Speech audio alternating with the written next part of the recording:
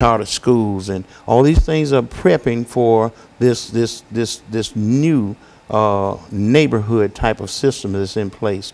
Uh, but what is actually happening is is sending poor people onto a reservation. It's almost like the Indians, as far as I'm concerned, because there's no new development for poor people. Um, uh, we did have to move there at Cayce, but fought it off uh, with the support of the NAACP that they came back with a thing called RAD. And with that red, uh, no one has to move, but we moved from Cayce to Cayce. Uh, but uh, that's not the case in a lot of cities um, with uh, where HUD is giving the property to housing authority. Folks is having to move and don't have anywhere to go. And so, Pastor, what we're saying here is that uh, some of the policies that have been followed dealing with housing has led to uh, the removal of a large number of individuals who might have been in public housing, but now they're no longer in public housing, and so they're in a real sense almost on the street. Talk about it from that perspective. there are, there's a new there's a new homelessness out there that exists now as a result of Nashville's growth. You know, I- I mean, I, I appreciate the positive side of the growth of Nashville and everything with all the development. You know, if we can think back, you know, seven, eight years ago. Uh, during the uh, past presidential administration under Bush, eh, you walk, you drive around Nashville and you see foreclosure here, foreclosure there. I mean, the housing market just just down, you know, and people losing properties and stuff like that. Now, with all this growth that's taking place under this current administration, and, and Nashville is truly, truly booming and growing, and all the construction and everything, the, but this housing market that's uh, here now is pushing a lot of people out of housing because a lot of them are not unable to afford housing. You know, even with the Section Eight uh, situations and stuff like that, you got people that had properties that had their property certified for Section Eight uh, occupancies. Now that uh, all this growth is taking place, some of these homeowners are taking money, as Mr. Zirker alluded to earlier in our conversation before, uh, and uh, taking monies and, and uh, re renovated their properties. What I'm trying to say, and, and as a result of that, they're putting it, they're getting market value for the properties, and so the people that would they have would have normally rented those properties under Section 8, they're unable to find it. And I work with the homeless, and I've experienced people with certificates, uh, Section 8 uh, for, uh, certificates, but cannot find housing. housing that would, that for the price of those certificates Absolutely, that they have. yes, Uh-huh. absolutely, because so many, you know, the housing market is, is, is just so high right now, you know. Uh, or is it good to say, I mean, can we say that uh, most poor peop- individuals in town have been priced out of housing, and therefore they're almost homeless? Oh yeah, absolutely. Yes, they're oh, yeah. they're been priced out of housing. They're almost homeless, and some of them are homeless. You know, you get calls, man, from where I work at. You know, a uh, uh, woman and her children and stuff looking for somewhere to go. She's got a job, but she can't. She can no longer afford to stay in the mm. place that she is in because the landlords are seeing the up the rise mm-hmm. in, in the market value for rentals, and they're raising these rents up to the level where people cannot pay them. And then you've got people that's coming in from bigger cities and stuff like that that's used to paying high dollar rents, and then the rents they're paying here, they're actually saving, Saving, money. Mm-hmm. Whereas we're looking at it, man, this this is an escalation in the cost of rentals in Nashville, but these people are coming here renting because they're actually saving money. Whereas we're seeing it that the prices and it's pricing other people out. Okay, and we're going to have, uh, we got 30 seconds in, in, in this uh, particular segment. But when we come back, Mr. Zirker, what we want to do is to look at uh, some of the uh, proposed solutions to some of the issues that we have. And, and we'll have 10 minutes to deal with that. But we're going to start with you. And anything that you have or your knowledge in terms of how we might be able to deal with that, this is when we want that information to come out. That'd And we'll be back with our audience following this very, very short commercial break.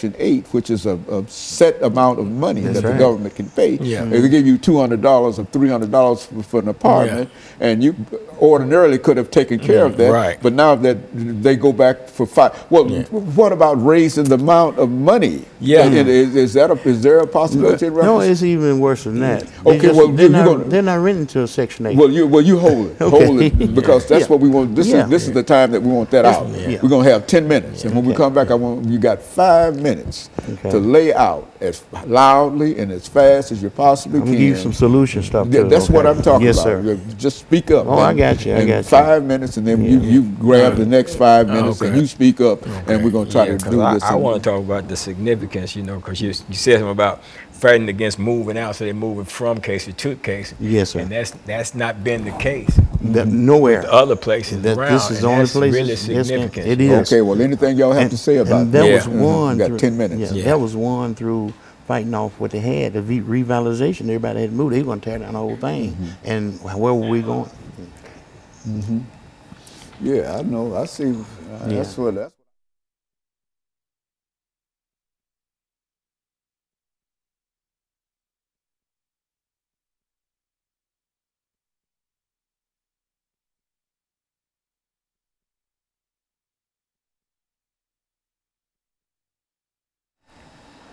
Thank you and welcome back to the final segment of the uh, show today. We're talking about the growth of Nashville and uh, how the housing population uh, in Nashville. And, and Mr. Zirker, let's see if we can talk in terms of some of the solutions, Okay. in terms of some of the issues that we've already talked about. How, how do you see it from your perspective? Good. Um, well, this is a booming town. This is an it city. Uh, the revision of, of this city um, with all the major developments here. They have a 25 year plan. Uh, the East Bank in itself, they're talking about 12,000 units. This is a whole lot of major development.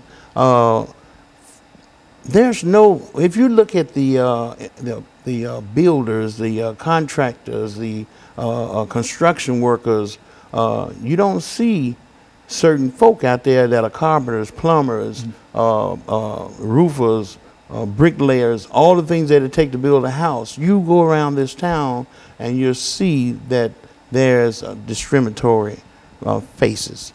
There's it, it, when I was coming up, they had high schools where it was you came to school mandatory, but you could go to shop. You could learn how to be a plumber, learn how to do these other things. That one of the solutions is to get back into some of that. They've got a thing where maybe you go to Job Corps uh, uh, through Martha O'Bryan. I think that's one solution of it, but it needs to be a bigger thing. OIC you mentioned earlier, I was a, a product of OIC. I became a welder and a first class welder overall. Uh, but that was that's a solution. Uh, one of the other problems when it comes to new development, and there's no new development for poor folk.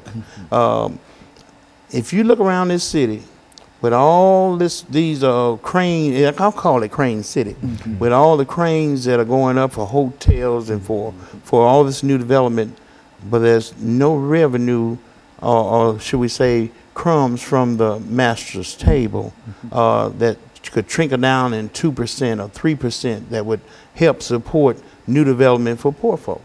This real estate here in the city is booming and so uh, the greed uh, uh, is preventing uh, our new mayor, who uh, who was commissioner over uh, the homeless uh, uh, for uh, for a spell before she became our mayor.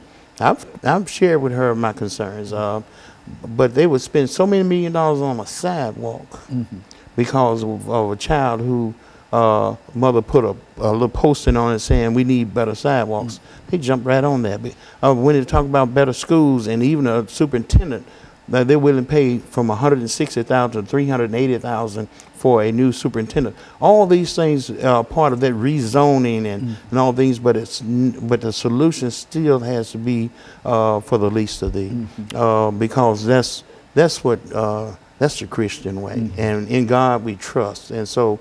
Uh, uh, the poor, yes, will be with us always, but we need to look at the poor and, and, and bring them along with us.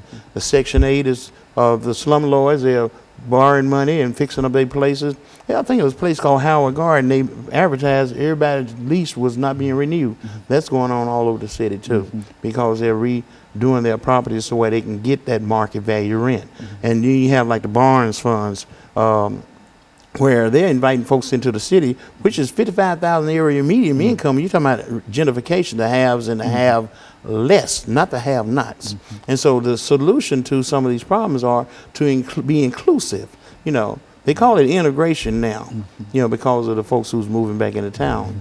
But it's still uh, uh, uh, a gentrification. It, it, it, Yeah. it leaves a large number of uh, individuals who are not as uh, wealthy or Fortunate, as uh, yes, financially Financial, yes, able, sir. And even uh, Section 8, which at one time was able to sort of uh, provide Oh, absolutely. funds for individuals to rent To out support that, these. yes, sir.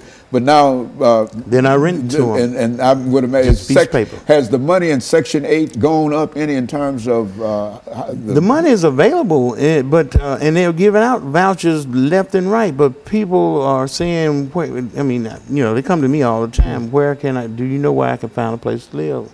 I'm saying, I'm sorry, that's nobody problem. can afford, uh, none Well- of the owners. Well, they're not renting to to Section Eight folks. Section 8 They're renting to these folks, and they're being compensated twenty percent by the bonds fund- funds Mm-hmm. uh, with the with the have less. You know, but what about the have nots? The nine thousand, eighteen thousand dollar year incomes. Mm-hmm. They can't afford this you know, type of rent. You know, and they're being forced out too. By the way, Mm-hmm. Pastor, yeah. Pastor Walker, talk, speak to that.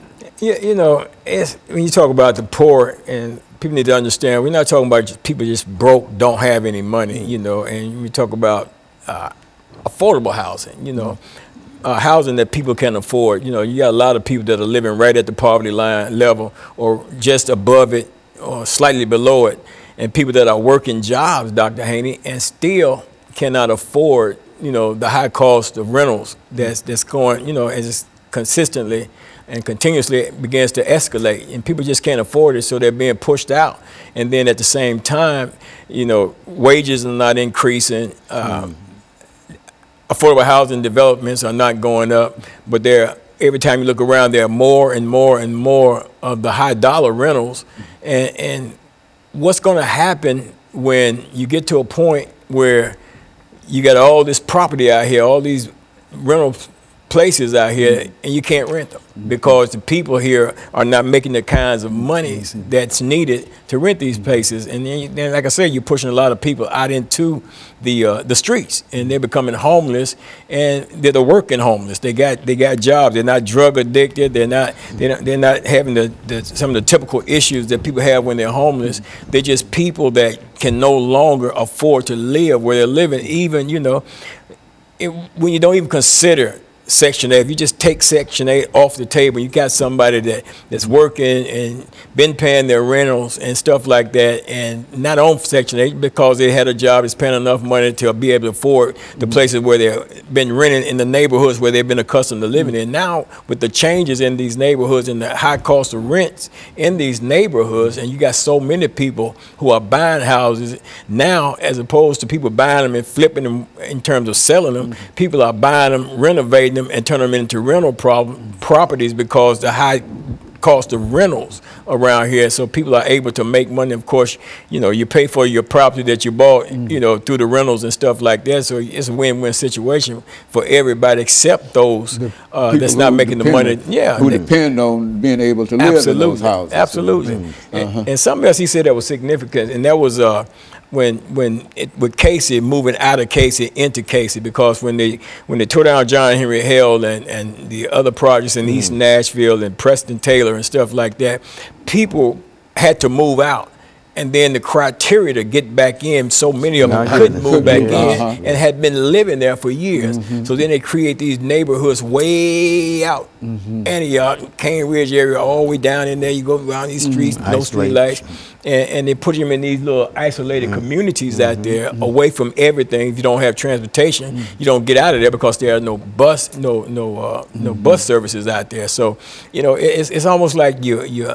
The reservation type thing Yes. that you, you you mentioned to earlier, mentioned earlier, you know, and it's it's a sad situation. It's something, you know, something needs to happen. I don't know what's going to happen, but uh, I can envision at some point you're gonna be dealing with some ghost town type of situation Mm-hmm. because you're gonna build all these structures and stuff, and you're not gonna have the people that's making the kind of money, Mm. Money that these things call for. Yeah, Uh-huh. absolutely. So you know, something's got to give on that. The- You out over overprice and uh, have the houses so priced that the individuals who need housing Yeah. can't afford to buy them Yeah, or, or- or to rent them Absolutely. or whatever and et cetera. And so, okay, and, and, and, and finally, uh, Mr. Zirker, uh, you, we've got about a minute. Some final comments in reference to this. Well, uh, as a final comment,